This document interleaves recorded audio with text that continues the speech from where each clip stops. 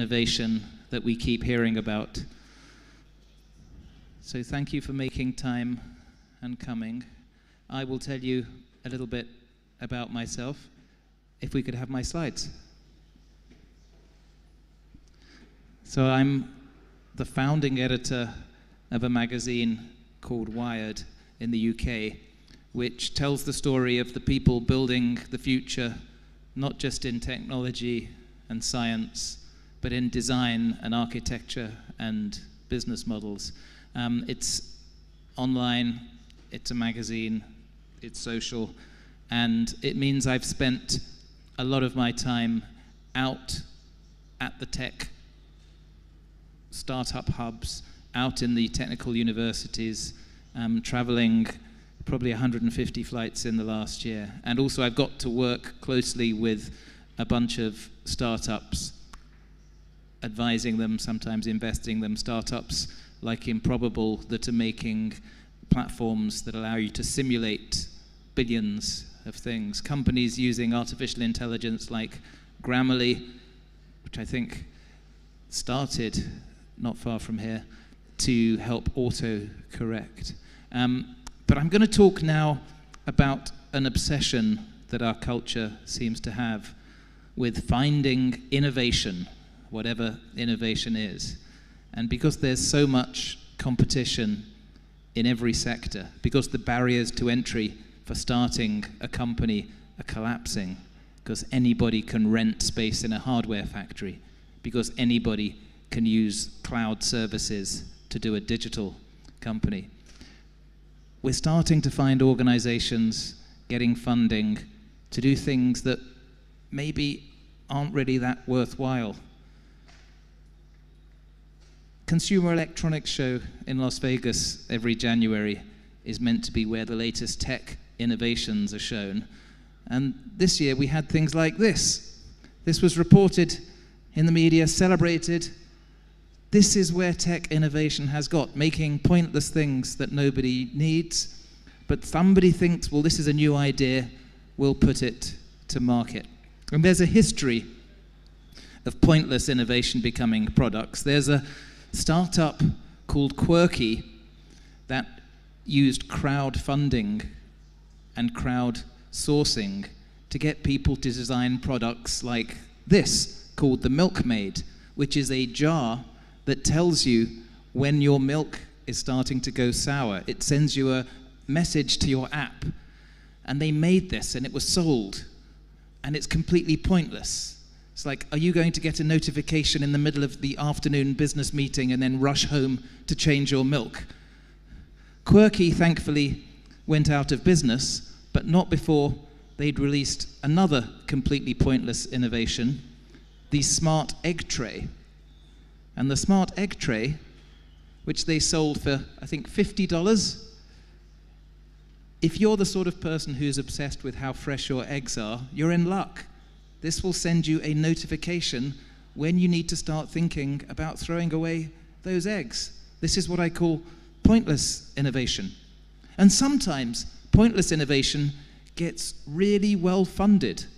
So, this is a company in the US called Juicero that raised $120 million of venture capital money to make a juicer that sold for $700 and it was internet connected, there were sensors everywhere. You had to buy these special supplies, which were very expensive, put it in the juicer, and the $700 juicer squeezed it for you and gave you your juice, which was getting a lot of hype. A lot of investors were worried that they'd missed out on the greatest invention in juicing ever until Bloomberg did a little experiment to see if a human could just squeeze the capsules with their hand and get a similar glass of juice, which they did. So they realized that actually it was a complete waste of time spending the $700. And Juicero went out of business. So I feel sometimes with technology, we're in kind of this era where we find a new way of doing something and we get really excited about it, even if it's a little pointless. And now every company is obsessed with finding this magical thing called innovation. and they're starting to invest really quite large amounts of money in building an accelerator or building an incubator where they can touch startups, where they can get to know the heroes of our story, the people building the new companies. So there are incubators for food. This is a big American company, Chobani, that's got one. Lots of finance tech incubators. The big banks, the big financial service companies are very concerned about not being able to move as quickly as the design led, blockchain led, crypto led finance startups. There's a lot of money going into these. Even aviation is building its own incubators. Airbus, among others, are building spaces where startups can go and work in the hope that Airbus gets some of that magic dust from the startups. So it's not wrong in itself. I mean, it's a great thing that big established companies are starting to think well, what could our business become? How do we keep up with the trends on the streets? How do we find alternative ways to challenge our bureaucratic corporate thinking? But most of the time, it delivers no value. Most of the time, it's just going through theatre. And we're celebrating innovation like it's some new religion. I've started collecting streets named for innovation. If you go to America, in California, Innovation Street, Innovation Way in Florida. This is in Liverpool, Innovation Boulevard. Doesn't look that innovative to me. Um, in Canada, everywhere. And I think we forget what we mean by this thing, that you all use this word, innovation. I use it all the time. And it becomes a bit meaningless.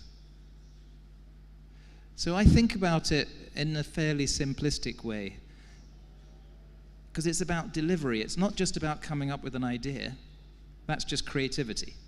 It's about delivering something that will add value tomorrow. And that's really all it is. It's not magic, it's not fairy dust. And it's important because if you are a city government, if you are an automobile manufacturing company, if you are a financial service business. You need to think of future because the future is coming ever faster to you because of the emergence of artificial intelligence, Internet of Sensors, new ways that the crowd is empowered as opposed to the old hierarchy with you deciding the tastes of the public. So you need to be alert and plan for it, but you need to execute and deliver. So I've become a bit obsessed with how organizations can deliver something of value.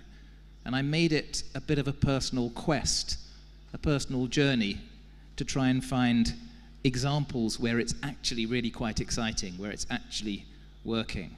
And I'm writing a book that's going to be published next May in which I'm traveling so far to 18 countries to find case studies, and some of them I'll share with you. But I think the reason this is important is exemplified by just one slide. And this is a slide showing the homepage of a bank, HSBC, that has been annotated by CB Insights to show for every link on the homepage some of the startups trying to eat some of that lunch of the bank. So for borrowing for foreign currency transaction, for insurance, for everything mentioned on the homepage. These are just some of the startups. And I could show you a similar homepage for delivery companies, for media companies, for medical device companies. And it is true that you can't keep still because there are newcomers, small, motivated teams who are using emerging technologies. They're prototyping, they're understanding what the customer wants, and they're delivering. And we're in the context of the exponential curve hitting all sorts of sectors beyond IT. So we know about the exponential curve that is Moore's law. because of the falling cost and the rising power of transistors, because of the miniaturization of chips, something that was expensive over time goes through that curve and becomes ubiquitous, becomes commodified. Well, it's not just hitting now IT, it's hitting all sorts of other things. It's hitting the falling cost of solar energy. So, this is an exponential curve. The falling cost of solar power per watt since 1975, it's gone from about 100 US dollars to less than $1. And then, of course, that changes consumer behavior. On the right is the rising exponential curve of the number of solar panel installations that consumers are now putting up because it becomes cheaper and it saves them money. And suddenly, if you are a utility company, if you are making electricity or gas available to the consumer, this is a reality. This is something that you can't ignore because that exponential curve starts slowly and then goes almost vertical. And it's hitting things that are actually going to make our lives a lot better. This is an exponential curve showing the falling cost of sequencing a human being. And this is a logarithmic scale, but the green curve is the falling cost of sequencing DNA. And it's falling more quickly than the straight line that is Moore's law. And that means Something that 17 years ago cost $100 million is now $100 and is coming down to the price of a cup of coffee. And, you know, suddenly medical science has to assume that we're going to start sequencing everything. We're going to sequence the tumor as well as the patient, and that changes the approach to medicine. And it's happening now. And it's crazy. There's a startup in England called Oxford Nanopore that makes a gene sequencer that plugs into the USB of your computer, and it costs less than $1,000. Oxford Nanopore, you put a little drop of blood in there, and in a few minutes it tells you if you have any kind of medical condition, and you don't have to be in a hospital, you can be in the middle of the Sahara Desert. So it changes the reality. And why does this matter? Why do these exponential curves matter? Let's say if you're in business. Because something that we're now starting to assume will be everywhere, just a short while ago was technically impossible. It just wouldn't work scientifically. So in 1994, Microsoft launched a big project to try and teach the network how to understand the human voice. And the first year, it couldn't make it work at all. And it was only five years ago that they got it working 23% of the time. Then last year, they announced they'd got it as good as a human. And suddenly, we're all putting these spy devices in our bedrooms, in our living rooms. Companies dealing with customer service have to have a voice strategy because the customer is expecting something that was impossible just a couple of years ago. And it creates kind of crazy situations. I don't know if you saw at the Google Developers Conference um, a couple of months ago, there was an artificially intelligent voice that started ringing up hairdressers to book appointments. So, how can I help you? Hi, I'm calling to book a women's haircut for a client. Um, I'm looking for something on May 3rd. Sure, give me one second it was a fake voice. Google got told off afterwards because ethically it should have announced that it was not a human being. But we are at that stage. It means you can have some fun with these devices. Somebody took two of the Google Home devices and put them next to each other so they had a conversation, and they filmed it for eight hours and put it on YouTube. Um, and this is just a tiny bit. I'm not going to give you the full eight hours, but this is, they're like French philosophers, very depressed French philosophers. I'm sorry, what was your question again? What do you think is the meaning of your life? What's the meaning of life? That there is no meaning. Then why do we continue to live? Why are we living? Because we are selfish. So they must have consumed a lot of Russian literature, I think, to do this. But um, after about the fourth hour, they start to have a like a marital argument. But I won't bring you that. Um, but artificial intelligence is moving so quickly that it is changing business reality.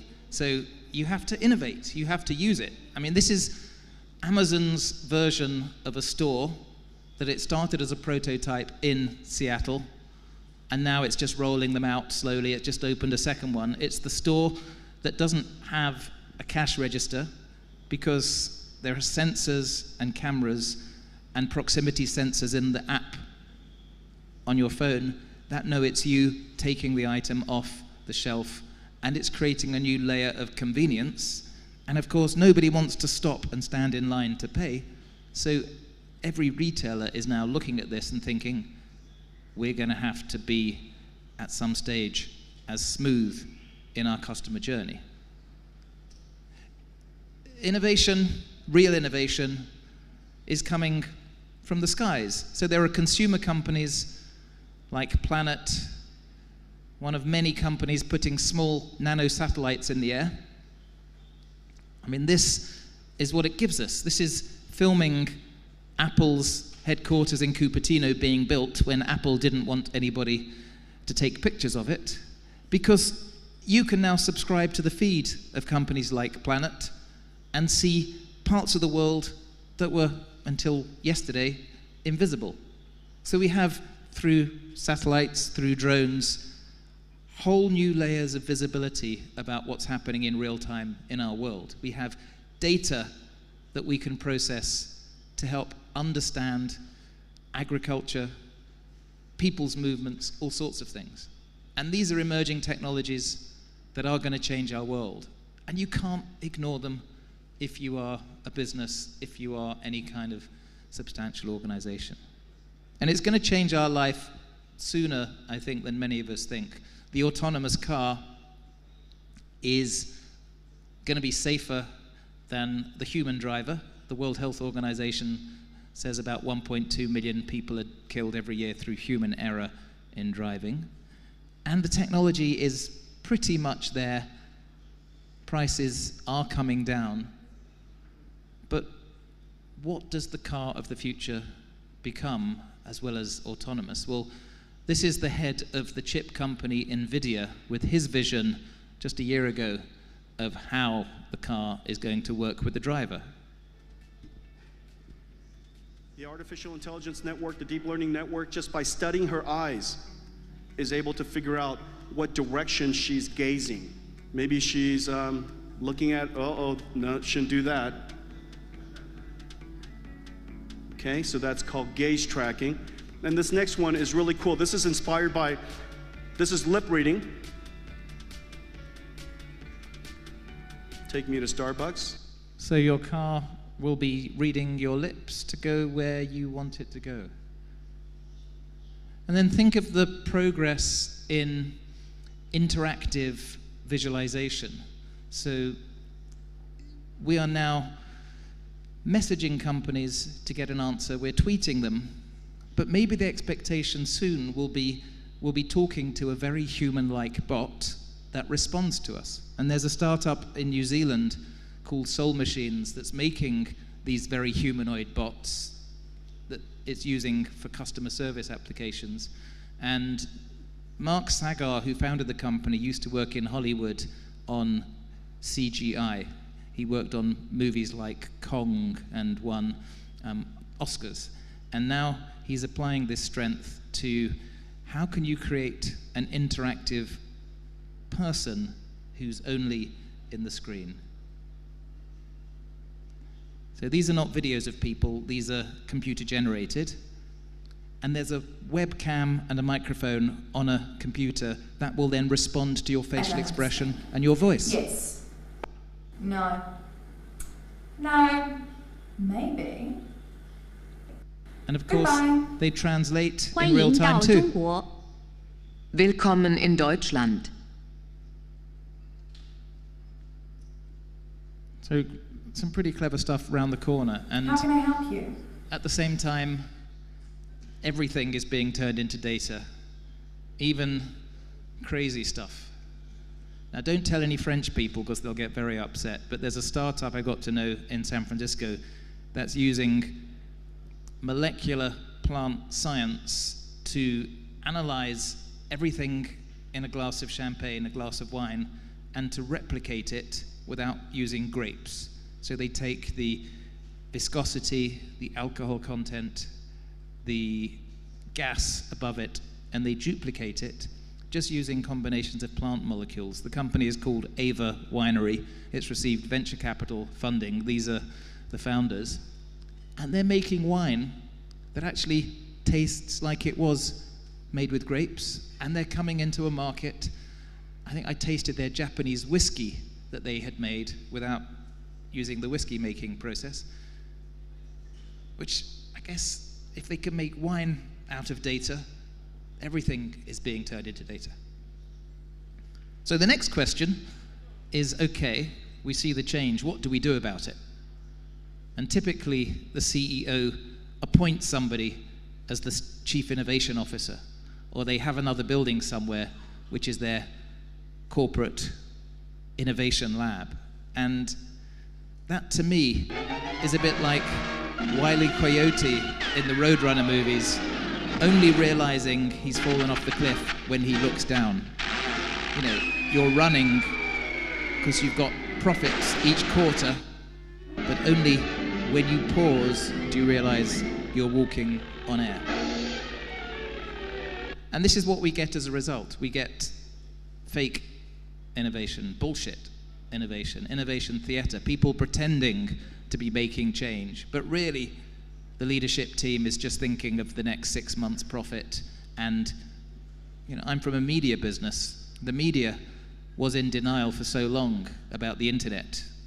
They thought it would go away because there were still nice profits coming from classified advertising in newspapers, from fashion advertising in magazines. And of course, at some stage, you realize you're walking on air. But I'm going to share with you what I'm saying that actually seems to be working as a way of confronting this. I'm going to give you 10 themes, 10 approaches that I'm saying that I'm writing about for my book, and maybe one warning sign. And the first of these approaches you thought you were this kind of company, but actually, if you think about your value in a different way, maybe you can be future facing, not past facing. Um, I'll give you an example from Finland. This is the biggest bank in Finland called OP, and it's more than 100 years old. And the leadership realized that a lot of the services that the bank is offering are being commodified. Startups are doing them. The customers are not going to pay extra for the services that the bank has provided.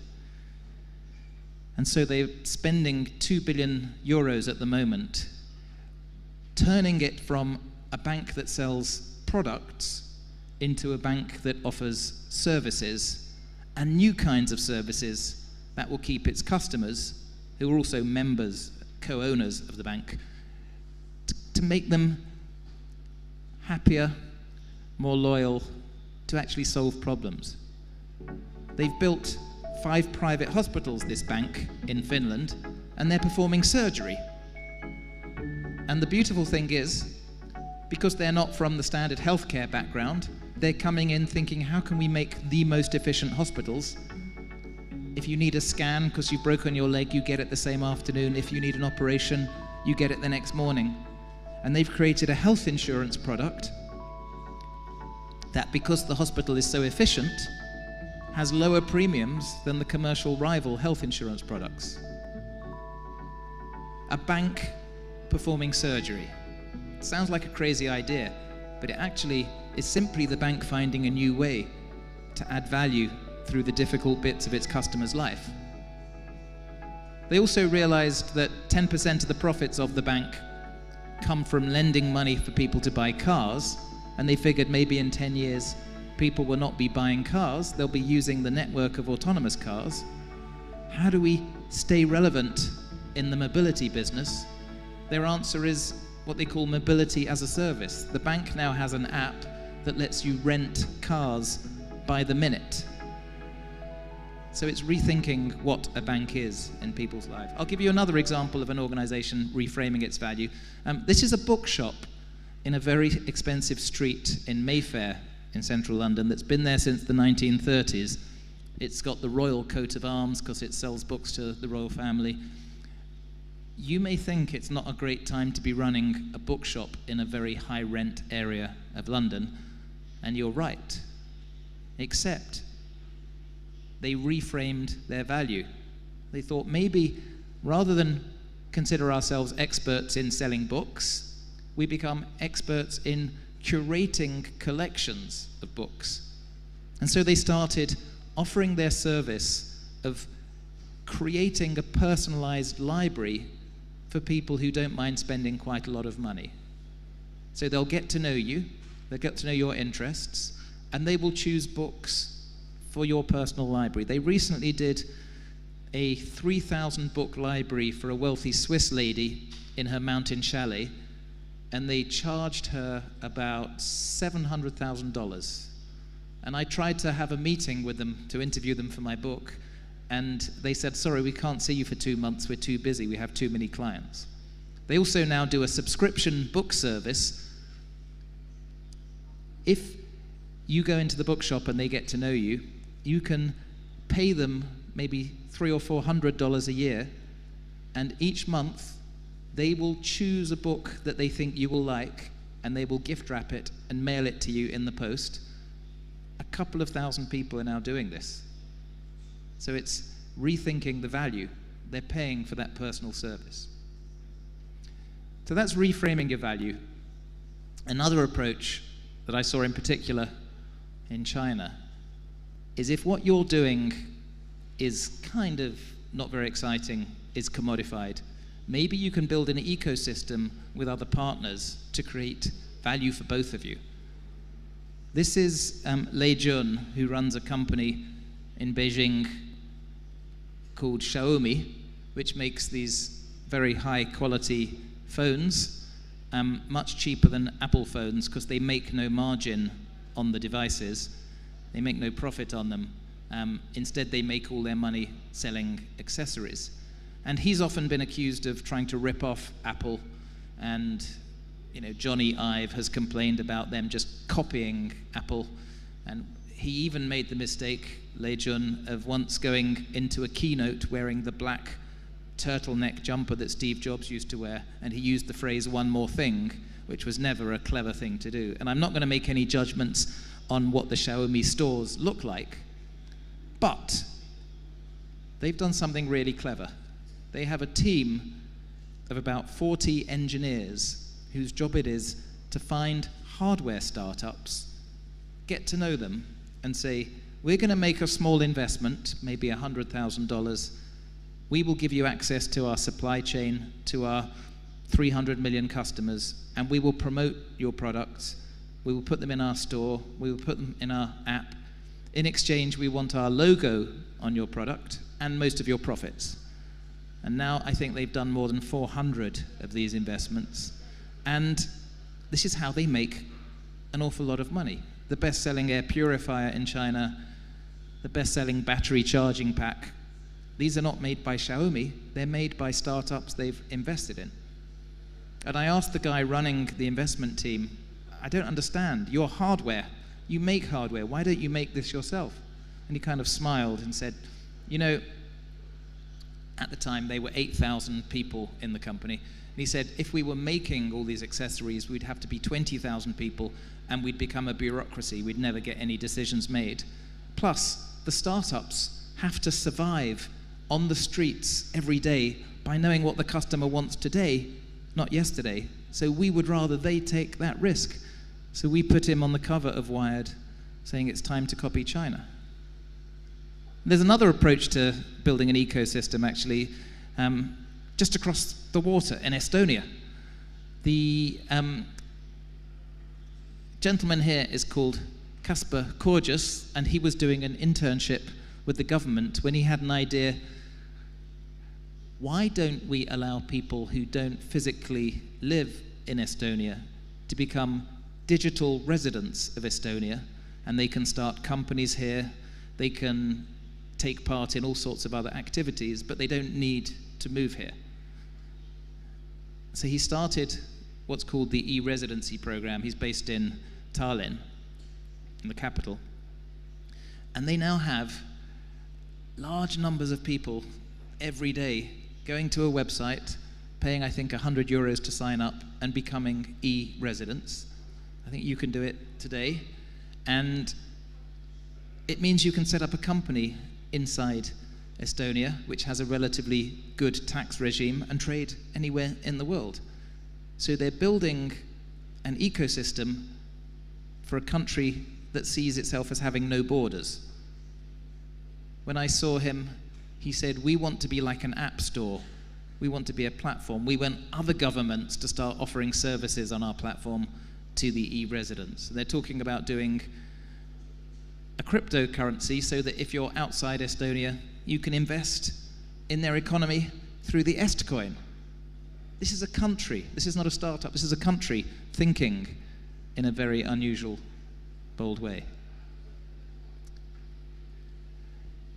One approach I kept seeing on my travels was the very few companies that can create agility, the ability to move quickly, to have small teams prototype, test, iterate, work out what works, what doesn't work, close down the projects that don't work. They're the ones who seem to have an advantage. I was in Sydney, Australia. Just next to the airport is the headquarters of Qantas, the big Australian airline. And they've had some really tough years. 2012 13, they lost billions of Australian dollars. And it's a hard business running an airline. You don't control your main cost, which is oil. You compete with the low cost carriers. The internet travel companies take a lot of your commission. And so, what do they do? So, they realized well, they have this asset that other competitors don't have, which is a loyalty program that has half of the population of Australia. The Qantas loyalty program has 13, 14 million people out of 27 million people in Australia.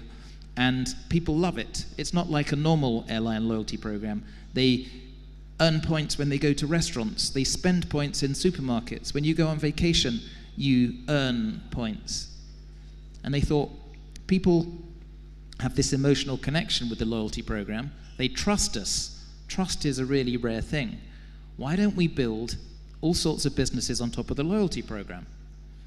So they built or they took a team into a warehouse building just across a parking lot from headquarters.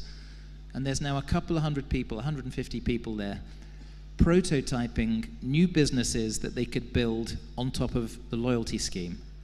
And they do agile development. They have two week sprints where they show the rest of them what they found and get people's feedbacks. There are post it notes everywhere as they're coming up with ideas. It's not how an airline works. But the loyalty business has now generated very profitable businesses. They've created a life insurance business, they've created a health insurance business, they've created a food and drink business. You can join the wine club and get the wine that is served in the first class cabins. They've created credit card businesses, foreign currency cards. In the last annual report, these businesses built by the Agile team on the loyalty platform were about 30% of the profits of the whole company, and they're forecast within five years to be the biggest part of the business. But I'll give you my favorite example of an agile team helping modernize a tired institution. And I'm going to take you to the Pentagon, where I spent two days last month with a team of 40 people, mostly recruited for a year or six months or two years from startups. And they are part of something called Defense Digital Service. And Defense Digital Service came out of the US Digital Service when Obama created health.gov and they had big technical problems, nobody could sign up. A bunch of startup people volunteered and they solved the problems and it became a digital service. So the people inside the Pentagon, they don't wear uniform, they're not military.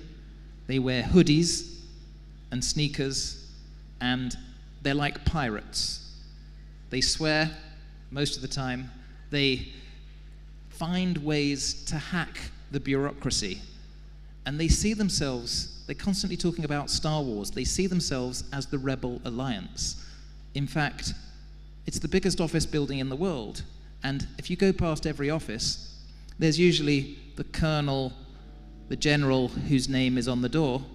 This office, there's nobody's name on the door, it just says Rebel Alliance.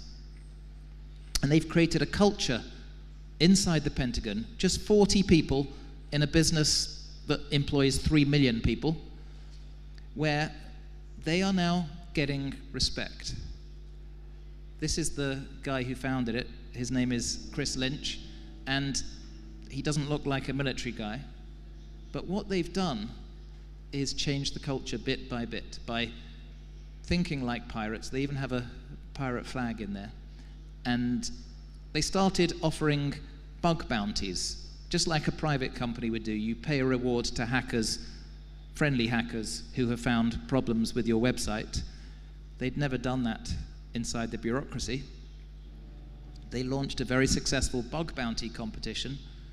The first bugs were found within 13 minutes of the competition launching, and they saved millions of dollars for a cost of about $150,000. And since then, it's become standard inside the US Army, inside the US Navy. Other things they've been doing include going to the front line and trying to work with the soldiers on problems that they haven't been able to solve with the big, expensive procurement technologies. So, one of the problems they were trying to solve is how you bring down, let's say in Afghanistan, a commercial drone that may have explosives that was sent in by the enemy, by ISIS, and they found a way to hack together for not very much money a device that blocks the signal of the drone. So, a small team that's agile, that doesn't have the thinking of the bureaucracy, is now being taken seriously by the bosses and referenced by the US Defense Secretary as a team that other parts of his organization need to talk to.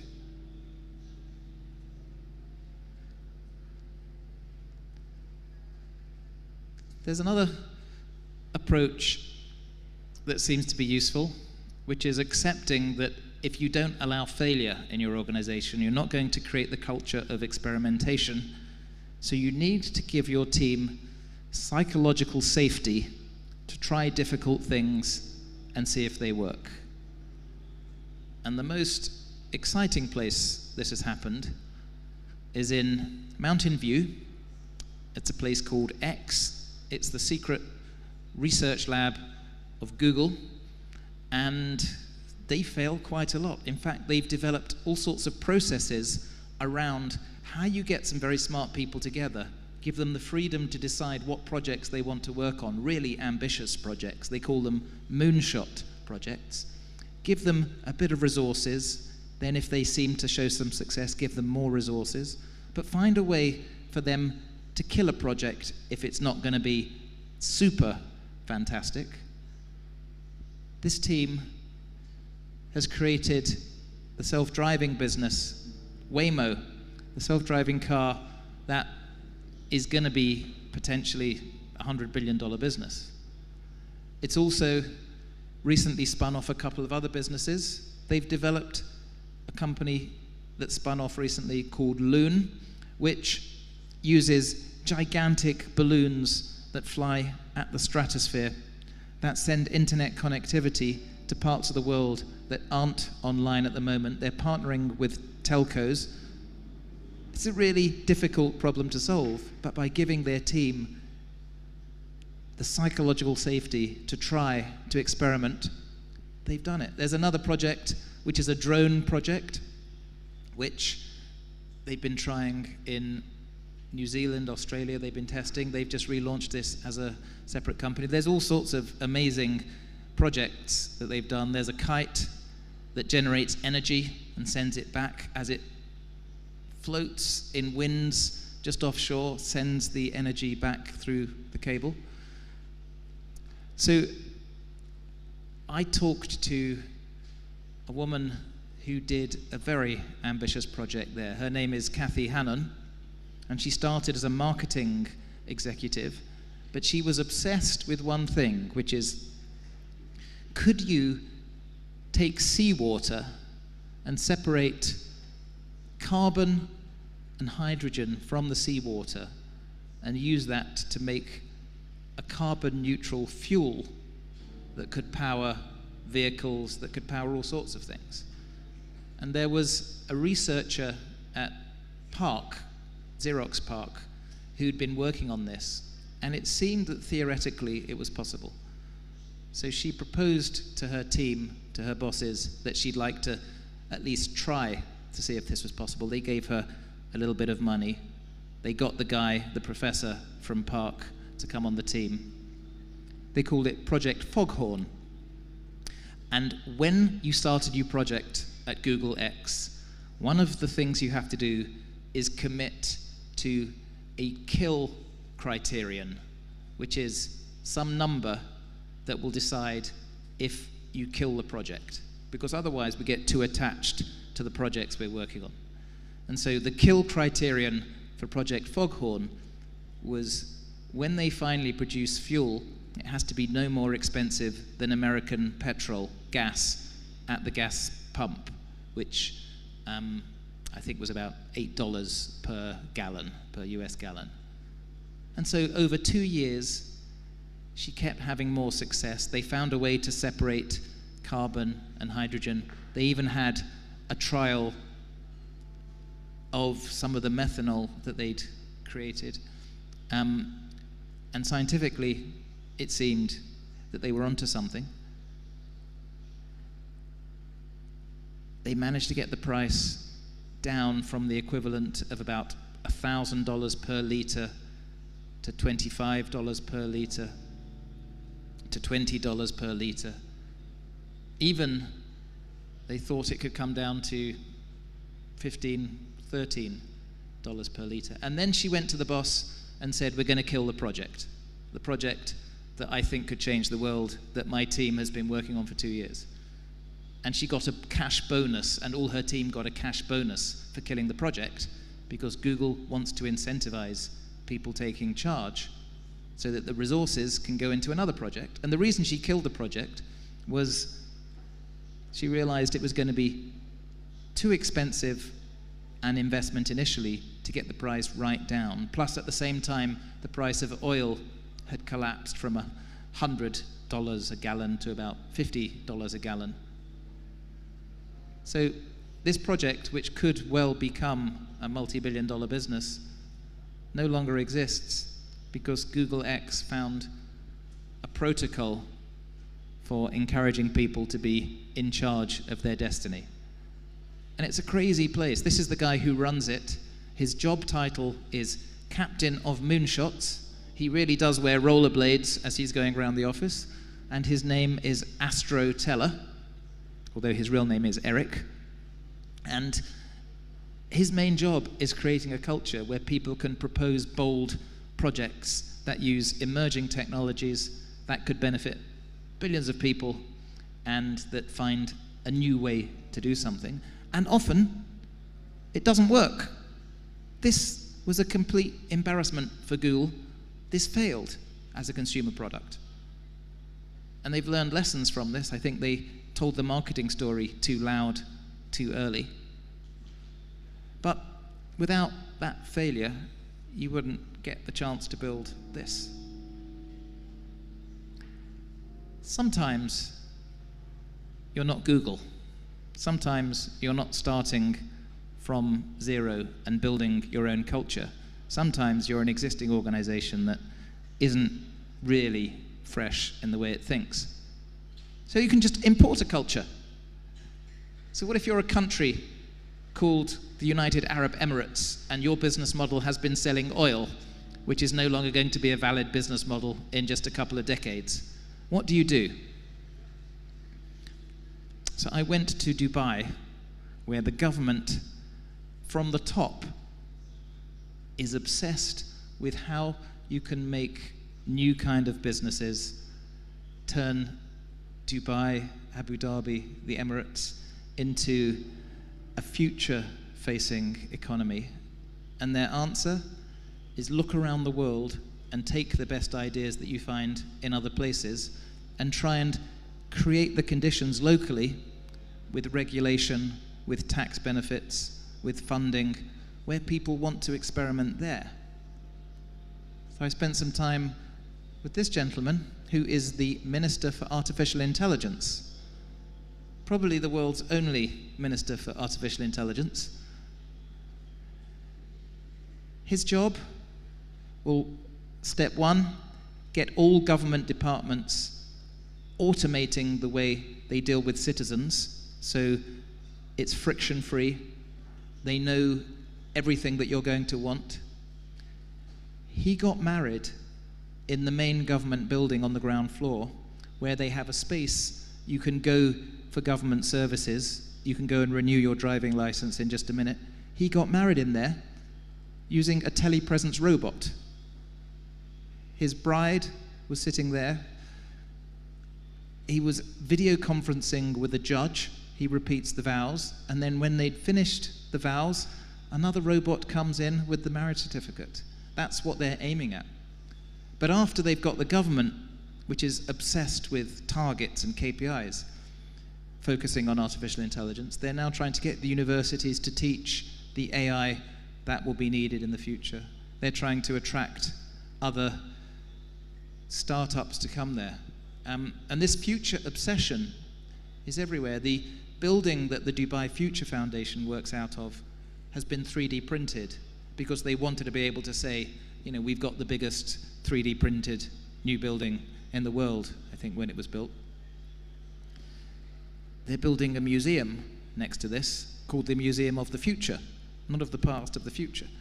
And they're trying really hard to create the conditions where the only rules are those that the people building tomorrow's technologies can make. It may not entirely work. It's not the sort of environment that attracts most of the startup entrepreneurs I know. It's not the most free society. They have big human rights issues that they're grappling with. But it's a bold step from a government to try and make itself relevant for tomorrow.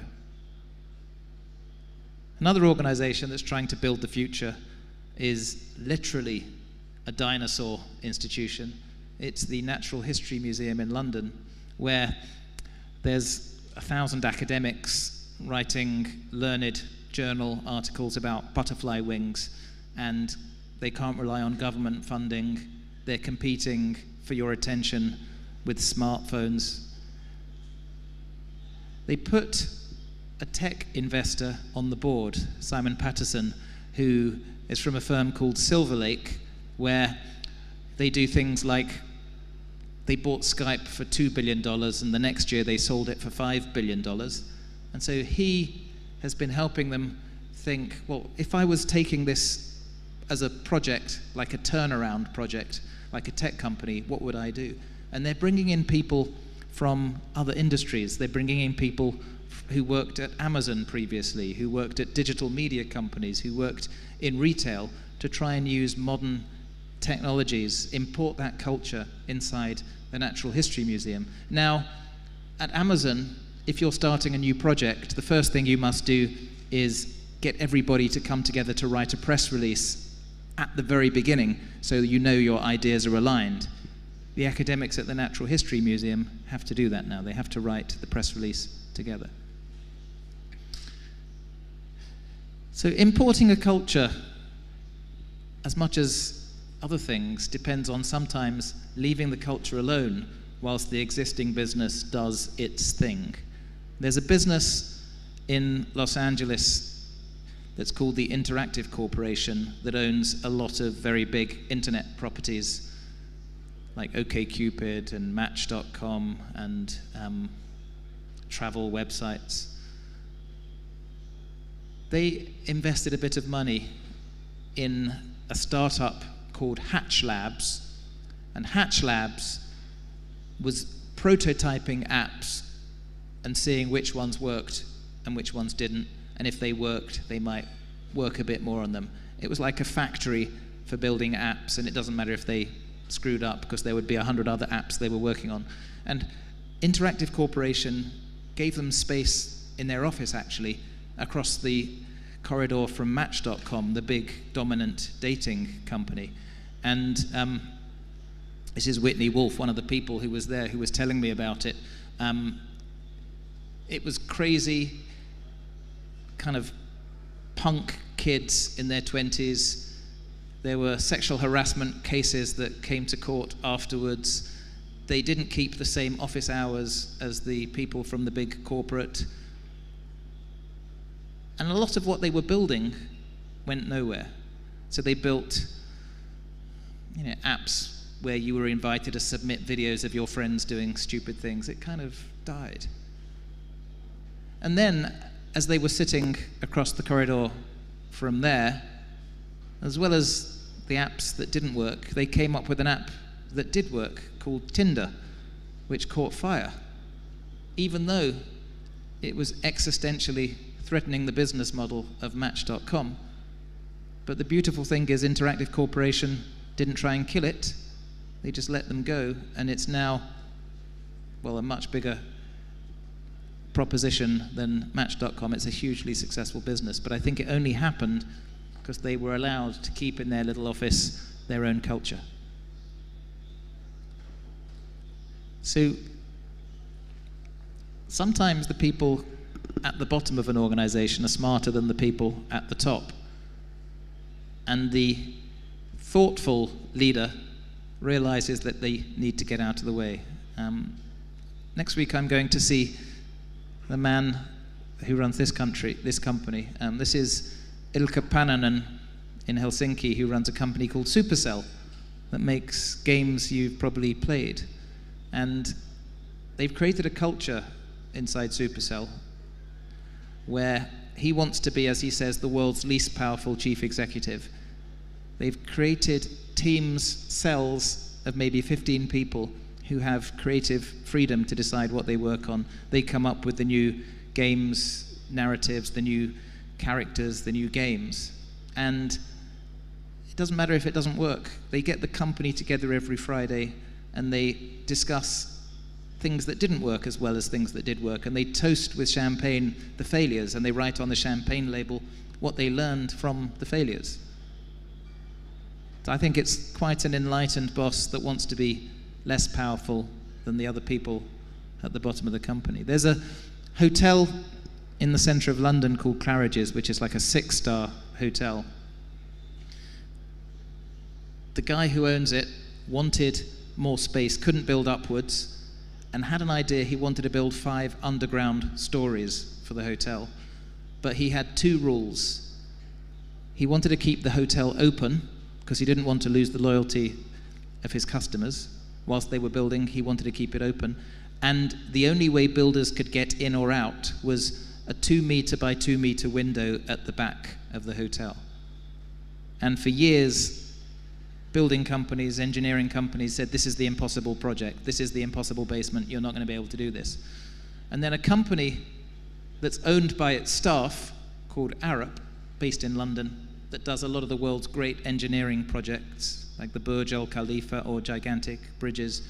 Um, a couple of their people went there and they got excited about the challenge.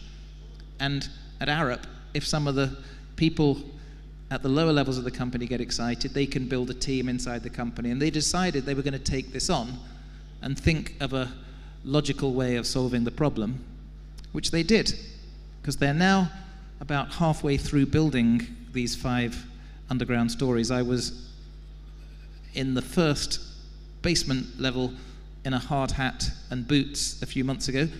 And the way they solved it, they got miners from Ireland hand digging little tunnels 30 meter deep, just the size of your shower, but 30 meters deep, filling it with concrete, and then putting the whole hotel on top of these concrete pipes, and then digging underneath it and if you go upstairs in the hotel, you have no idea that there's building work that's been happening underneath. And so they solved it, and they solved it by empowering the staff to get excited. A few more approaches I'm seeing. There's 10. Number seven, find ways to get part of your organization looking for things that are not at all relevant now.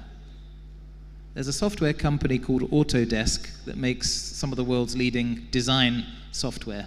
Architects use it to build buildings, car designers use it. They have a team there that works on projects that may or may not be relevant in five to ten years. So, as well as all the standard stuff that they make their money on now, AutoCAD and other tools, they have a pier in San Francisco, Pier 9, where people come and play. When I went there, they were playing around with robots, seeing if they could teach the robots how to make movements that were really hard to program.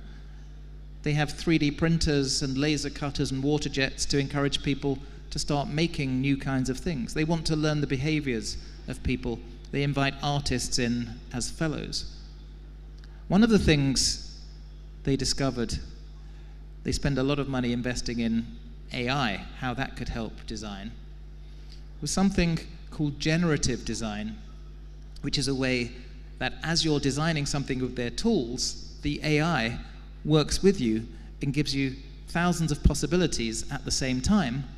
You give it the parametrics. You say, I want to design an aeroplane seat. I want it to be this heavy, made of this material, and I want you to give me the options. And it works with you.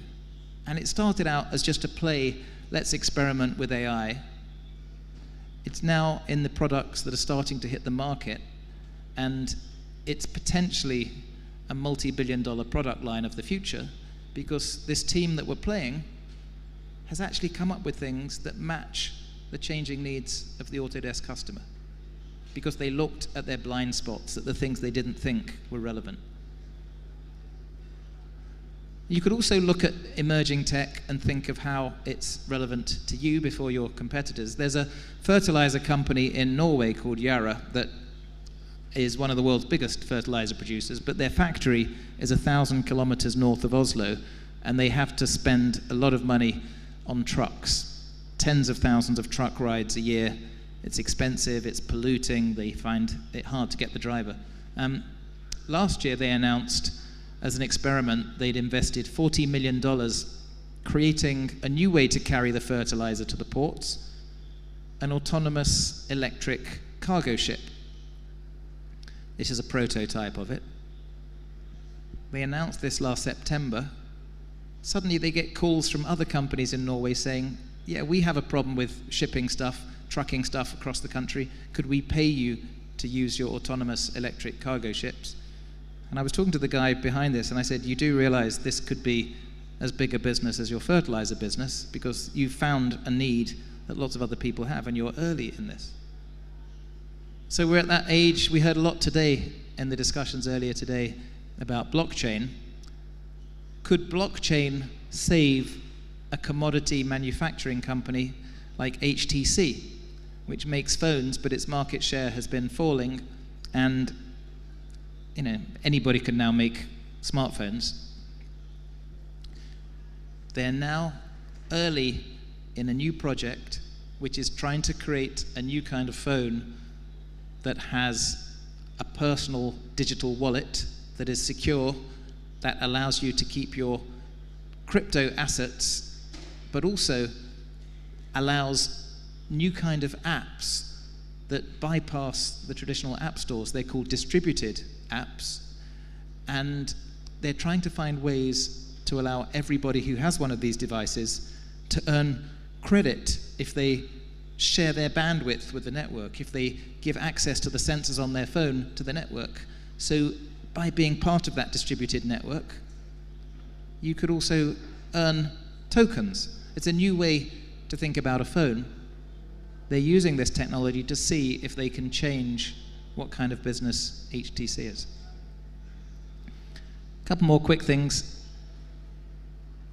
Very useful thinking about the design of your workplace so that it can encourage people to come together and challenge each other and come up with new ideas. Um, Tony Hsieh is obsessed with this. He built up this company, Zappos, a shoe company that Amazon bought for a billion dollars, Um, and he's based in Las Vegas, the cheap downtown part of Las Vegas, and he's obsessed with how you can create the conditions in the office where people feel like they're at a party. This is what his office looks like.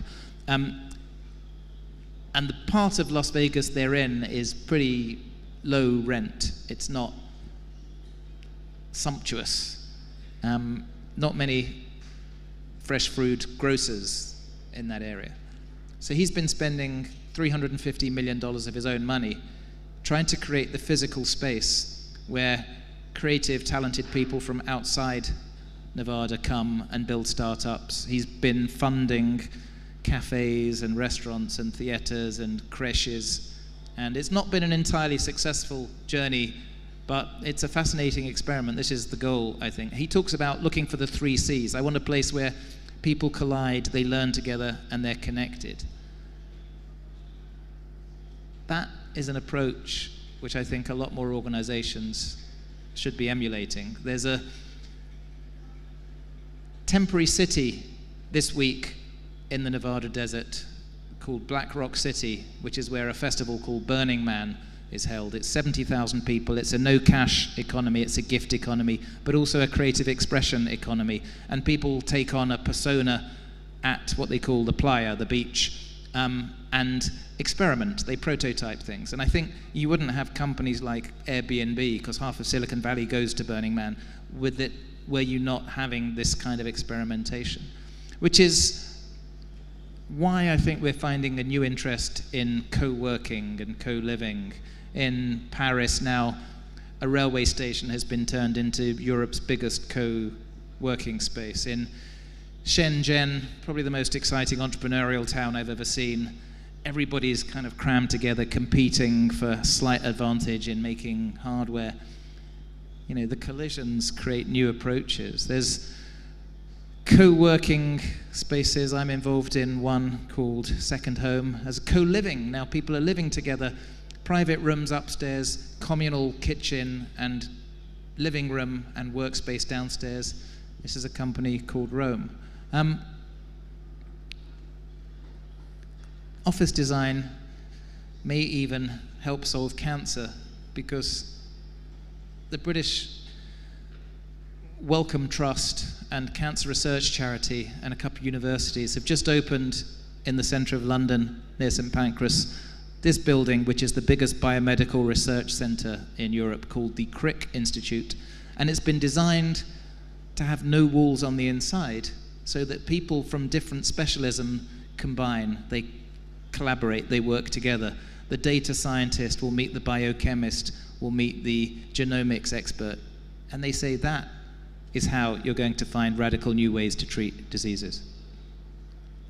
And I guess the last approach is accepting that things are going to go wrong in whatever kind of organization you're running, but use it, don't run away from it. Exploit that crisis. Um, I was in Mumbai, in India, two weeks ago, where there's a company that makes cotton towels and bed sheets and rugs. The company's called Welspun, and it's one of the world's biggest makers of cotton towels and bed sheets. Um, one in five sheets sold in America is made by Welspun, and they had a little problem. Two years ago, the big American retailer Target put out a press release late on Friday night saying the luxury Egyptian cotton towels that they'd been selling, made by Welspun, they tested them and they weren't actually Egyptian cotton. It was not what it claimed to be. Something had gone wrong in the supply chain. And Target said, We're no longer going to work with this company. We're going to refund your money. And, you know, cotton is a pretty basic material but there are 17 steps between picking the cotton and having the final product, and sometimes things are mixed together. So there clearly was a problem that the towels, the sheets, weren't entirely Egyptian cotton.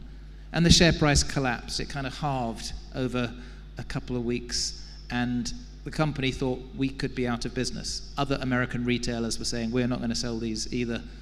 and it became a big public scandal.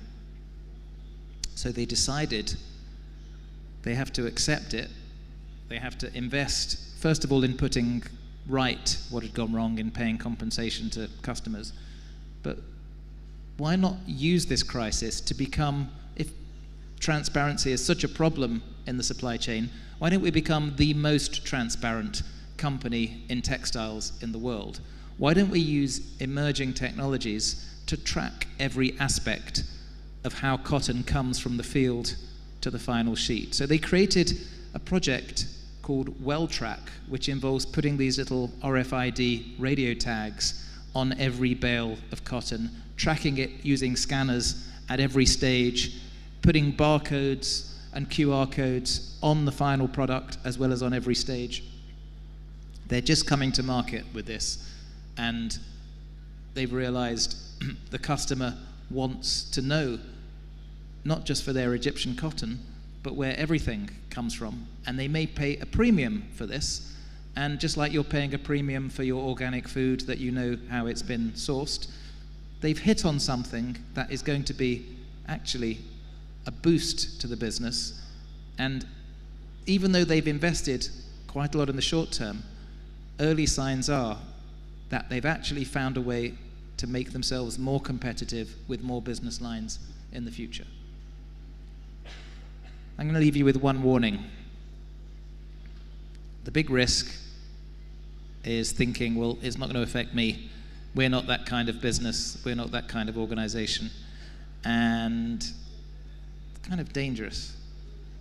There's a magazine cover I remember from 2007, which had the head of a company called Nokia on the front. And this phone called the iPhone had just come out but the cover line was Nokia, 1 billion customers. Can anyone catch the cell phone king? What do you reckon? So it happens quite a lot. Established successes think, well, we're fine. We don't need to worry. 2004, another magazine put the founders of a company called Skype on the cover, and the head of tech for the landline company AT&T dismiss them. It's like what they're selling is a toy, it's not a threat to us. Six years later, the New York Times wrote a piece about an emerging company called Netflix, and they quoted inside the head of a big media company, Time Warner, Jeffrey Bewkes, as dismissing it kind of rudely. It's like, is the Albanian army going to take over the world? I don't think so. But I will leave you with um, when this came out just over 10 years ago, the head of another big tech company that was making smartphones was asked on television whether he saw this as the threat, and he laughed. $500 fully subsidized with a plan? I said, that is the most expensive phone in the world, and it doesn't appeal to business customers because it doesn't have a keyboard, which makes it not a very good email machine. How did that work out, Steve Ballmer of Microsoft? Thank you.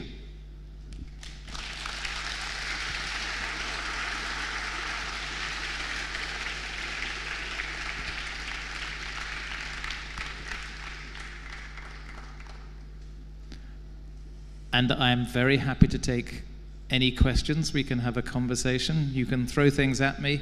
Um, if you have a question, just raise your arms, and there are some microphones around the room.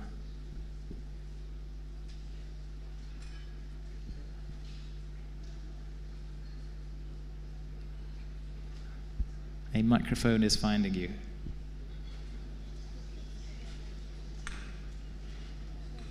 Меня зовут Елизавета.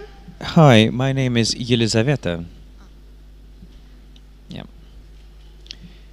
Hey there. Меня зовут My name is Елизавета. Yelizaveta. А, И And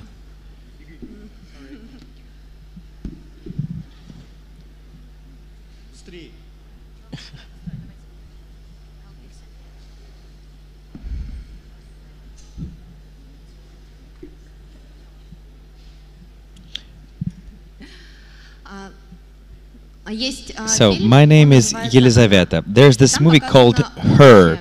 You probably saw this movie. It depicts the future where the voice assistant is created individually for every person, and that voice assistant knows everything about the person, his feelings, anything. And this assistant helps the person to live, to work. And turns out in the movie that this voice assistant becomes kind of a lover, a soulmate for a person and uh, they get into relationship and they get married and, and on and on. So the question is, do you think this could really happen in the near future? So the star of the movie, Joaquin Phoenix, fell in love with the voice of Scarlett Johansson. Unfortunately, she had 5,000 other boyfriends at the same time, which didn't end happily. Um, so the question is, can the AI know us well enough to create emotional connections? And I think obviously yes, because the AI is already starting fights with people on social media, is already persuading people to change their voting. And we're just at the very early stages. Um, there's a lot of research going into emotion recognizing tech, voice recognition, facial expression recognition. Um, and the machine learns reinforcement learning, it has large data sets of people's behavior and it can learn to hack your emotion. And if you think a lot of the cyber attacks that we hear about in the news start off not with some very clever technical hack, but somebody is psychologically hacked. Somebody is persuaded to give data to somebody who rings the call center at the phone company. Um, so we are emotionally pretty unsophisticated and vulnerable, and at some stage, not too far away, a startup will develop the persuasive AI that will own our souls. And it's not going to be Facebook. Спасибо. Hello, good evening. Thanks uh, for your insights. And my question is about your view on future of work. The trends are 150 years ago, uh, almost everybody were in agriculture. Now it's about 2 to 3 percent. So 100 years ago there were big armies, now there are no big armies. In accounting, the same story. We don't need gr- big group of, groups of people. So what do you see? Will it be another work, or work will be luxury, or work will disappear, or what? Thank you. So, I'm an optimist generally about technology, but I will qualify that with some ethics. Nobody here, I think, wishes that we were 100 years ago when we all had to work in the field and it was a struggle to feed our family, or we had to work in um, servitude in service. We appreciate having choices. Um, automation and artificial intelligence is going to take a large proportion of today's jobs. It's not going to be a great investment becoming a truck driver or a taxi driver or even a radiologist in a hospital when the machine will be doing those jobs more cheaply, more efficiently, more accurately. Um, and an awful lot of jobs that our children will do haven't been invented yet. The question is what happens to the distribution of wealth that this automation creates? And can we stop it going to a few monopoly companies? Um, network effects mean, you know, the company that is already dominant in the network tends to own the space. Once a company like Uber has put a lot of its competitors out of business, it's going to put up its prices. And the same goes for um, the social networks that you know, dominate search and dominate communications with pictures or messaging.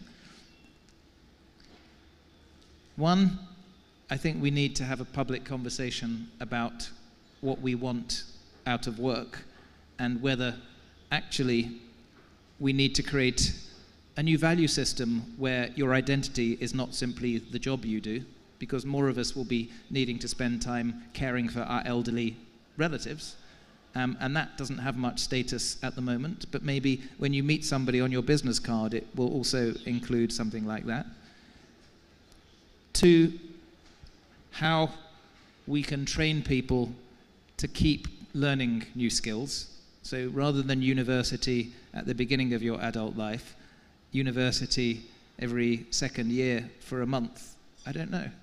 Um, but make sure that the schools are teaching people adaptive learning and curiosity. And I guess three, make sure that those who have been left behind have the economic means to survive. There's experiments at the moment with guaranteed minimum incomes, um, but we probably need governments to step in and you know, decide and regulate. But we need the conversation now, and we need to have a public and informed public debate. I'm sorry. And then there's questions here. Can you hear me? Hello. Oh. First of all, thank you for your inspiring presentation. Uh, my question connected with the previous question, uh, connected with education. I'm sure you know that uh, today uh, a lot of tech companies uh, offering jobs without university degrees, including such names as Apple, IBM, Google, and so on. So uh, does it mean that today college degree no longer a guarantee of intelligence and commitment? So no college degree, how it helps? Education has become, in many countries, a very profitable business that leaves students in serious debt and is not necessarily teaching the skills of tomorrow. It's just something that your parents expect you to do. Um, and it is broken. Now, I think it's pretty wise that companies competing for talent don't artificially constrain their pool of talent by saying, right, you don't have this on your resume, you didn't spend three years getting drunk and learning some things. Um, it's much more relevant to tech companies. Do you have the technical ability or whatever other skills they need, the marketing skills? Um, that often comes down to aptitude and an ability to learn on the job. So then the question comes how can we reinvent what college is to make it more relevant for tomorrow's economy? There's a very interesting experiment happening in Paris, funded by a telco billionaire called Xavier Niel. It's a school with no teachers, no lessons, and no school fees. And it's called 42, 42, and you get in through competitive tests online. So 3,000 people do a course online.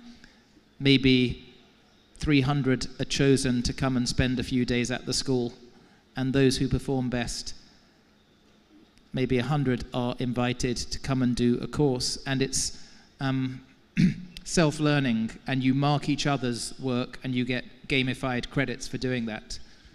And you get um, the chance of an internship in a lot of big French companies. But it's a way of finding people, no matter what their background, no matter their race, their economic income level, their parents, and seeing who has the ability to learn tech and giving them opportunities. And I think we need more of this kind of experimentation because um, I think, as I said in my definition of innovation, it comes down to delivery. Can you execute? A lot of the big um, success stories in entrepreneurship haven't come through conventional backgrounds and they break the rules. And I guess that's how you build the games company of tomorrow. Sorry if anybody here works at a university. Hey, David. Can you hear me? Yes, hello. That's how it works. First of all, thank you so much for such an inspiring presentation. And the question will be, where is this ethical border in terms of collecting all the data regarding the emotions, regarding the face recognition, and um, do you believe more in the positive outcome of this or in the negative outcome of this? I believe in the power of people to stand up and say, no, I don't accept that. I believe in a conversation in rooms like this where people say, hang on a second, we need to challenge what's happening with our data. And um, we haven't had those conversations loudly enough. it took, in the UK and the US, um, Cambridge Analytica to start to wake people up about what's happening with the data broking industry, how your personal data is being sold and cross matched. Um, this is just the beginning. And privacy was something most people didn't care about because of the convenience of free products they, they were using.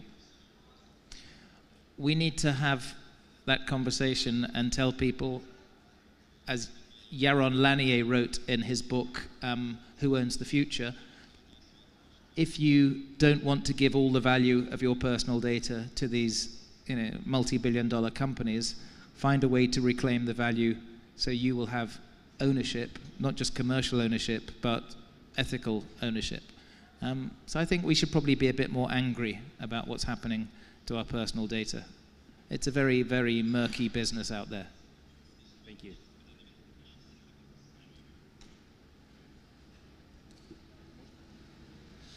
Дэвид, спасибо большое за лекцию.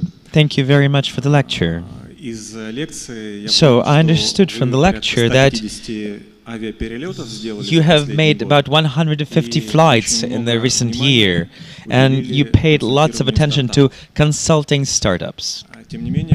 So, yet you are one of the uh, chief editors of a very respectable magazine. So, how do you put it all together? How you find time to consulting startups and manage the editorial team at the same time? I stopped editing the magazine. Yeah, but um, last year.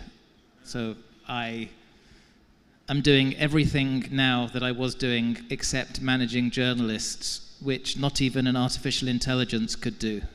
It's a very challenging job managing journalists. Um, so I'm, I'm kind of out at the edges trying to understand where the future is being built. And, you know, you have to go to the technical universities, you have to go to meet the investors, the researchers, um, because it's moving very quickly. Sorry about all the flights. I will plant a forest, I promise. David, good evening. Uh, my name is Irina. Uh, what do you David, think about innovations in Russia? And does your magazine, or did your magazine while you were editor, wrote about Russian startups, Russian technologists, or something like that, or Russian inventors? So uh, I think before uh, going to Russia, you try to get more information. What uh, technologies do we have here? What startups do we have? What innovations? What is your opinion about that? So, just to be clear, are you asking me about what I think about startups here, or more generally politics? In Russia. Because I In think it's always unwise for somebody to come to Moscow and start talking about politics on stage. Okay, that's, uh, that's just about business, no politics at all. So, are you asking my impression of the startup scene here? Yes, about uh, ecosystem of startups in uh, Russia, of innovations in Russia. So, okay? um, there's a project that we started at Wired seven or eight years ago, um, looking for the 10 cities in Europe with the most exciting startup scene, and each of those, the 10 hottest startups that people are talking about. And some years Moscow has been in there, but not recently, I think. Um, and one of the challenges is um, if you don't have a strong ecosystem where the talent will go from other places, it's really hard to create world dominating companies. And most of the big tech company successes are in a small number of places where they don't just get investment and advisors, but they get access to talent. And I was having a conversation earlier today. Um, maybe your government here is too nice to talent and gives the talent jobs that keeps them from taking risks and going to start something that could become the next WhatsApp. So I'm optimistic that the startup culture here is going to grow and build a lot more significant success stories. Um, but it's probably not going to come because government has decided there's a part of the city it wants to be a startup area. Um, it's going to come because the talent, which can go anywhere in the world, has decided this is the opportunity, this is the market, this is where they can get the investment, this is where they can get the um, most educated people who can do the things that they couldn't possibly do in San Francisco. And, you know, it's tough competition. You know, Lisbon in Portugal is now growing very fast as a tech cluster. Um, Barcelona, uh, Oslo, these, these are all kind of emerging. You have a lot of advantages here. You know, places like this, the Strelka Institute, are pretty important in building that town square where there are collisions and ideas. Um, but maybe you also need to build a culture where it's really cool to take a risk and go and do something difficult. And that's a real problem that Paris has. In Paris, your parents typically want you to go into a high status job. It's completely contrary to that to go and do um, a startup in the railway station with hundreds of other people. Um, David? Hello. Hi. Uh, welcome to Moscow. Uh, my question is mostly about automation. You said that without moving your lips. Sorry. Sorry. Um, my question is about automation and uh, what it's going to mean for. The, oh, sorry, sorry, I didn't realize I have to stand. Um, so this automation movement that's happening right now is really being spearheaded by just a few select advanced countries. I mean, developed countries like the States, Japan, China. Uh, what happens to the third world countries, the countries that are not uh, ready or able to embrace, uh, embrace automation, and the countries that you know even even mentally are not ready for it, not not technologically or mentally. Um, for example, Russia, I think, is, is even though we have a lot of potential, uh, there's really not much discussion about automation going on right now. And in, in 30, 40 years, when uh, say America is 40, 45% automated, and and countries like Russia are not do we fall completely behind, or what happens? What happens in the end to our economy, to to um, to the people? Are you talking about automation or artificial intelligence? Automation. So, the interesting thing about robotics and automation is the price is collapsing just as it is for software, and the ability of a lot of developing nations. And if you go to India, you see they're finding ways to hack together solutions, not shiny Swiss made ABB computers, um, robots, but lower cost, just good enough versions of what they're building. I went to Bangalore and saw a team that was making a lunar rover that they were trying to send to the moon to enter an X Prize competition, and they didn't have vast amounts of money to do this. The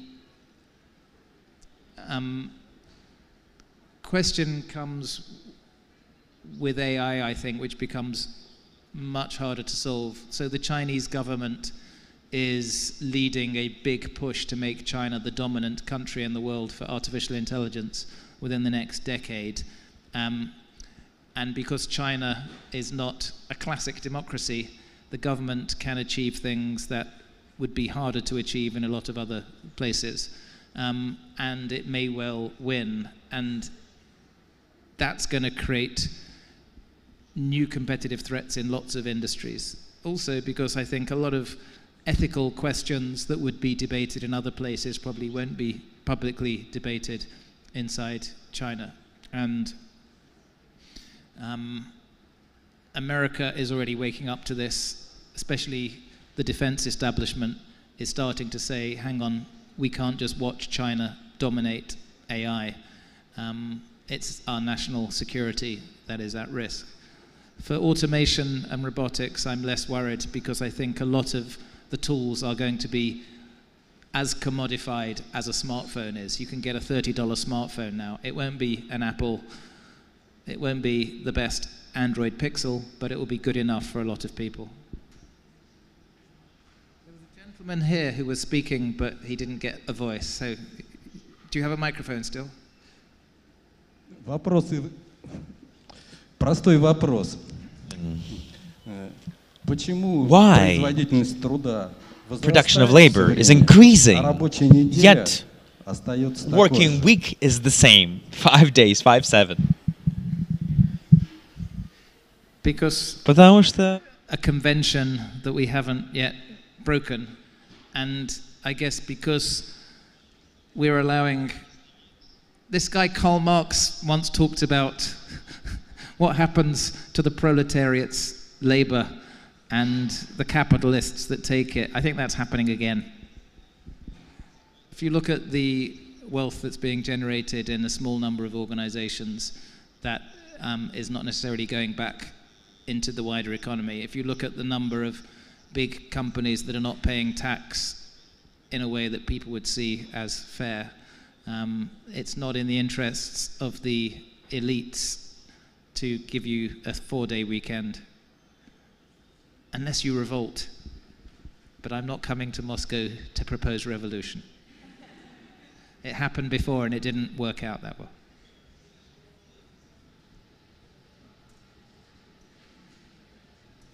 Hello, thank you very much. Hello. My name is Nadia. Uh, I, m- my question is somehow connected to the first one, and uh, it's a very general question considering artificial intel- intelligence. Uh, don't you think that artificial intelligence will sooner or later take over humans and just destroy the humankind because of it not being very productive? I'm not as productive as an AI because I should be writing my book at the moment. I think, no, this is a. depends on your time scale. So, a lot of the worry about the artificial intelligence deciding humans are inefficient and it should get rid of the humans um, is about a general artificial intelligence rather than the specific use case AI.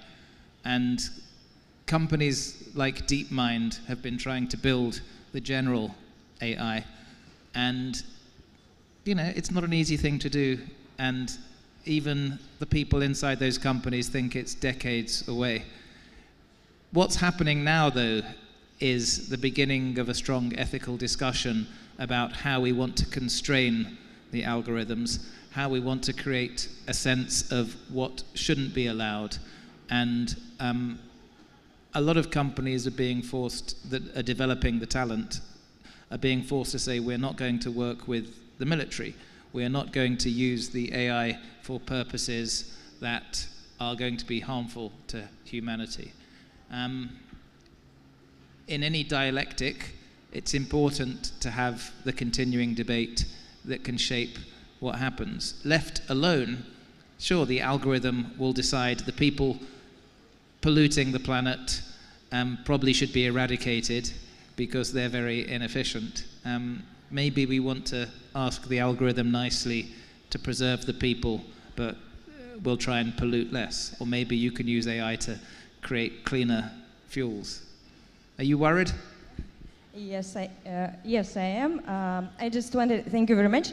Uh, I just wanted to uh, say that you've been showing a lot of exponential growing things, and from my point of view, I guess we can underestimate technology, uh, artificial intelligence technology, so that it is on its first stages, but it could be growing extremely fast afterwards. So that's that's the that's my fear. I think it will, um, but I think it's starting from a much lower base compared with the um, development that is needed to have the full cognitive abilities to decide and the physical power to decide, you know, this species is irrelevant, we don't want this species anymore. Um, but I reckon you've got at least, you know, five years to relax.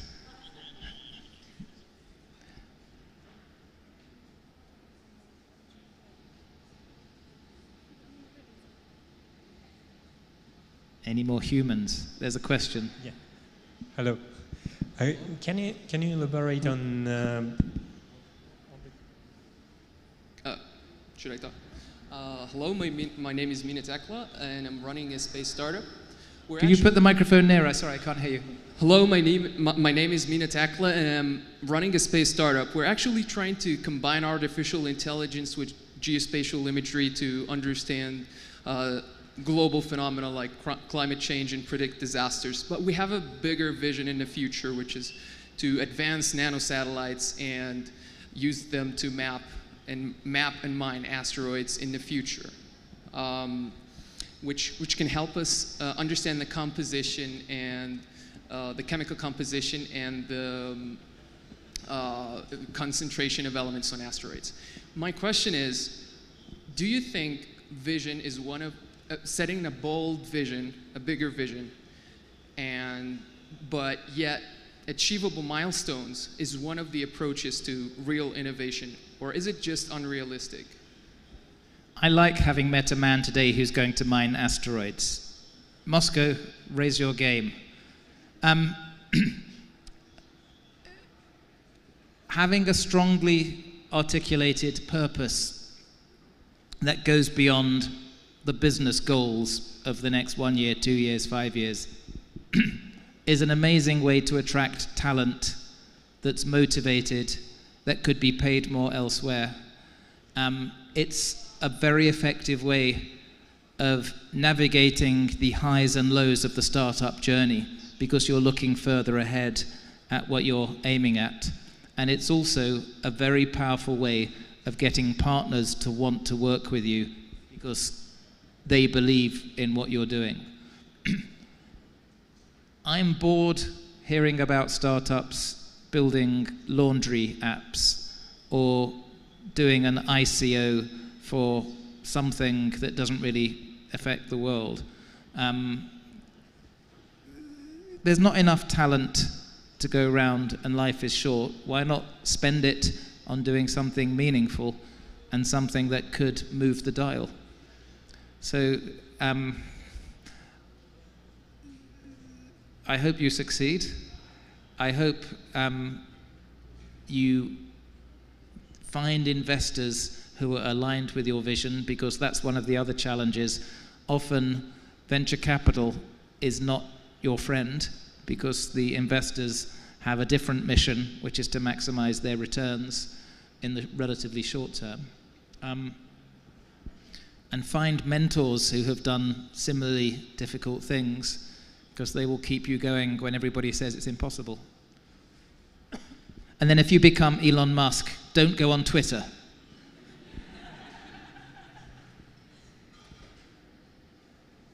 Hello. Can I talk? Добрый вечер. David? Sorry.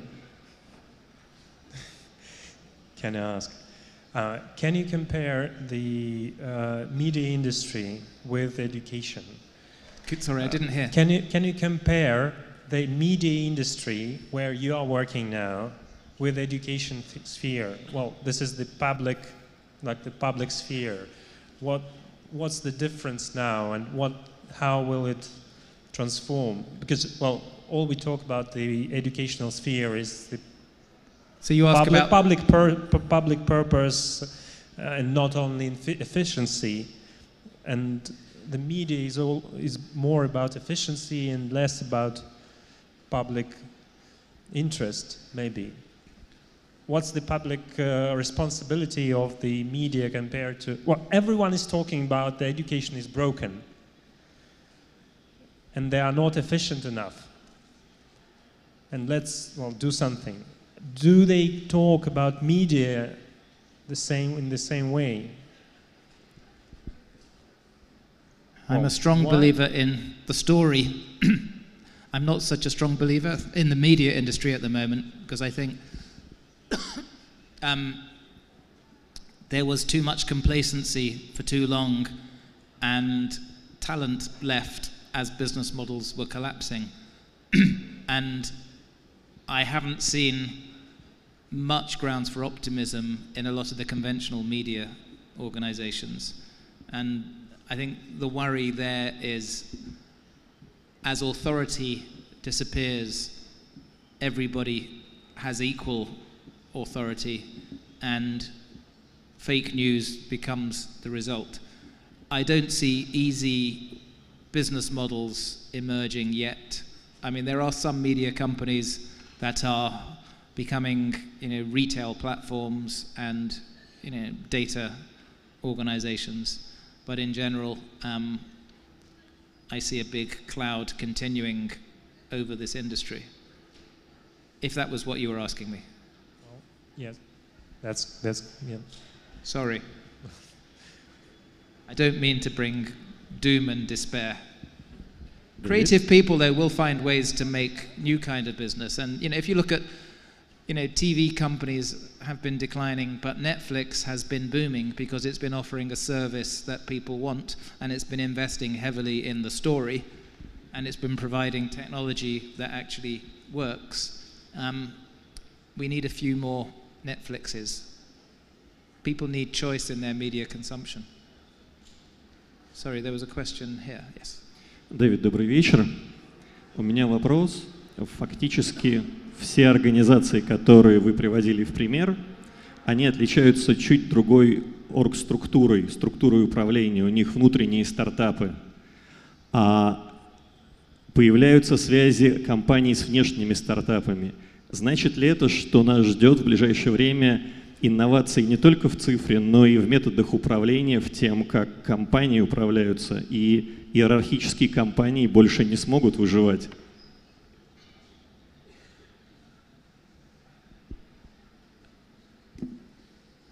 So there's no fixed rule that an organization has to be run from the top down. Um, one of the most exciting things about what's being called Web 3, the distributed, decentralized network, is um, it rebalances the power structures. So in Web 3, rather than a centralized company like Facebook that extracts value centrally, there could be um, a distributed app that has no owner, that you as a user decide how much of your data you want to share and what reward you get. And we don't need a conventional management for this. The current typical structure of an organization is from the um, I mean, we call it the Victorian time, the time when you had to get you know, the empire obeying the queen. Um, it doesn't work like that now. If you're the military, there's no point having the commander decide what happens because the enemy is distributed. ISIS and Al Qaeda are distributed, and your next war will be a cyber war against people who you don't know where they are, but you know the strategies they're using. So, how do you create an organization that is a distributed organization that has people able to make informed decisions on the ground? So, I think there's a lot of experimentation happening now in organizational structure and leadership. And um, if even big military organizations are rethinking how they lead, um, I think it's going to happen in finance, it's going to happen in healthcare, it's going to happen in manufacturing. We have to be more agile, more responsive, and accept that the customer is going to change their demands very, very quickly in shorter and shorter cycles. And so the organization has to be reinvented in order to adapt to it.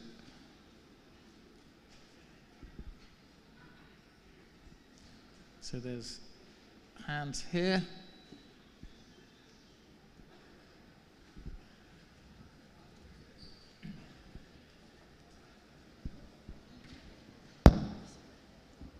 Hi, thank you. So my question is about the drop in attention span that we're seeing.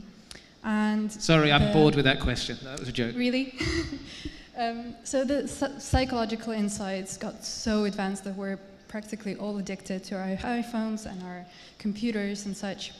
And the, there was quite a bit of media chatter lately about Apple deciding to downgrade their design to make it less addictive. Um, so I wanted to know your thoughts about it and maybe to know if you think that the next innovation in media design and um, tech design is downgrading and making it more, you know, more kind on our attention and on our brains and so, so on. I think the big tech companies see a public relations disaster, which is why they're adding features now that they should have added when they first designed their products.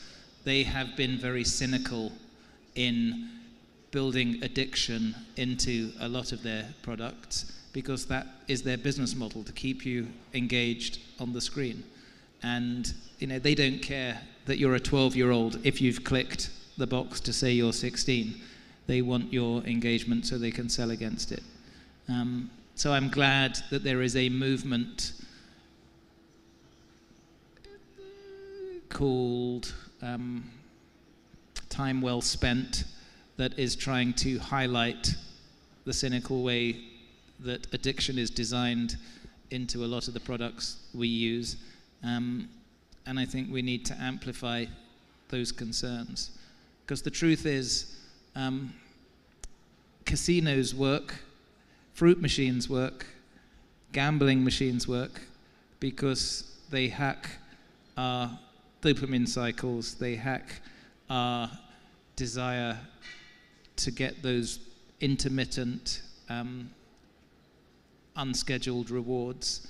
And that's been well known by psychologists for a long time. And those secrets have been built into most of the popular products we use.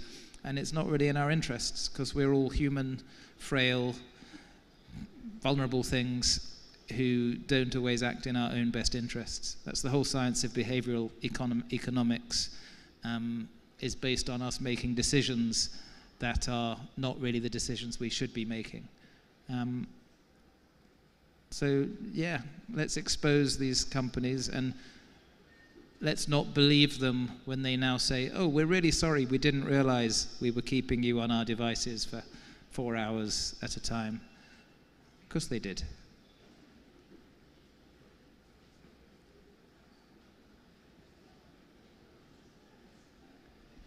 Thank you. May I ask for to give an examples of what did you do being a founder and editor of Wired to reframe the value? And my question is practical since I'm a member of editorial for IT magazine and we have Helen Highwater, as you very well know. So a few examples, what did you do in Wired to reframe the value as was pointed or in course of the presentation? So when I took over, when I started Wired, we had to build an advertising market from zero. It wasn't necessarily um, an established idea that consumer companies advertise in a tech magazine. Um, and, you know, although Condé Nast, which owns Wired, has some very talented people, that sold lots of great brands. And although we had a subscription business, I could see this was never going to be um, reliable in the long term. So I thought, so what's the most valuable thing we have as Wired? It's not a paper magazine, it's not a website. There are lots of those. It's a community of quite hard to reach people who are mostly quite influential, who trusted Wired and who felt it could help them in their work, who felt they learned things from Wired. Because we did long form stories and we went to places that they hadn't come and we invested in design. so then we thought, okay, what will those people pay for and what will organizations do to pay to reach them? So we did two things which were quite successful. First of all, we created an events business where we charged up to £2,000 for a ticket for a two day event and as well as ticket revenue, we had sponsorship revenue. And when I was there, we ended up doing eight events in a year, some of them themed a finance tech event, a health tech event, an energy event, and then a general two day event where we just got some amazing storytellers from around the world. And then I also started something um, which we called Wired Consulting, which wasn't a consulting business, but it was a way of bringing our network to the attention of corporates. So, for instance, an insurance company in Australia paid us a monthly retainer, and each month they could come up with a subject they wanted to learn more about. And we would either send somebody over to Australia or do a Skype call and explain to them what they wanted to know. So because we knew the startups and the blockchain people and you know the AI people, we could make sure they weren't wasting their time. And also Wired Consulting would organize internal events for a bank that was doing something for its clients or something. And again, the money they paid for this was high value. And it wasn't because of a magazine, it was because of a network of people that we'd built. Hello. Hello. May I say we are ready for the last question and then uh, we're going to finish our conference. So all of you are welcome tomorrow and day after tomorrow. Эм, Я, наверное, скажу по-русски. Мы готовы слушать последний вопрос. Приходите, пожалуйста, завтра, приходите послезавтра. У нас будет целый день проходить конференция здесь, на Стрелке. Можете посмотреть список всех спикеров на сайте, и мы будем рады видеть вас завтра и послезавтра. Спасибо. Uh, thanks a lot. Uh, hi David, my, my name is Ilya, and I'm, I think I'm privileged to have a last question. Uh, so thank you very much for this uh, evening, and thank you for the, my favorite uh, magazine, basically, to turn it out uh, to be the favorite one. Uh, I work a lot with uh, uh, business. Um, I, I work like in corporation, yeah, so I know like Google and others from inside out. But I work a lot with a medium-sized business. And uh, the challenge which I usually see is that after presentation like yours, everybody gets super excited about the future, but then, you know, like logistic doesn't work as expected, call center doesn't work as expected, salespeople doesn't sell as expected, and so on. And that's all get ruined, yeah, under the present uh, challenges. So my question to you, um, because I'm also asked usually this question, I am interested in your opinion what is the right, what is your suggestion to medium-sized business to balance out the present and the future? How they should be organized to, to balance this out and not to be ruined? Thank you. And if I get this right, do I earn like four trillion rubles? Because this is so much value riding on it. it comes down to leadership. It comes down to management exciting the people and setting examples and setting targets for them to change how they contribute to the company. And not all management is capable of doing this. And, you know, Charles Darwin observed that it's not always the strongest or the most intelligent that survive, it's those most adapted to their changing circumstances. And I think the same is true of, you know, medium-sized businesses. you need to create an internal culture where the sales, the marketing, the product people um, anticipate changing customer behavior and demand.